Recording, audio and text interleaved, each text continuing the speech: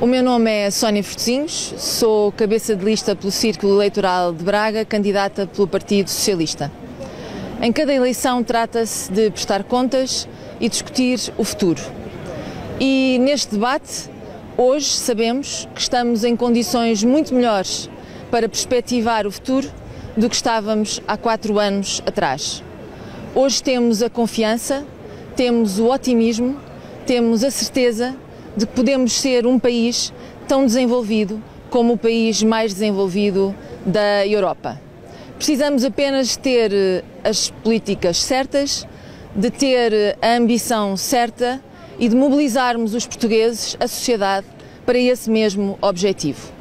Se em tempos houve quem nos tentasse convencer de que não havia alternativa e de que tínhamos que nos contentar em sermos um país que competia pelos baixos salários e em que qualquer emprego era melhor do que não ter emprego nenhum, hoje sabemos que não apenas podemos ter melhores salários, não apenas podemos ter melhor emprego, não apenas podemos ter melhores serviços públicos, não apenas podemos ter melhor proteção social, como podemos competir com qualquer país naquilo que importa, no conhecimento, na inovação, na educação.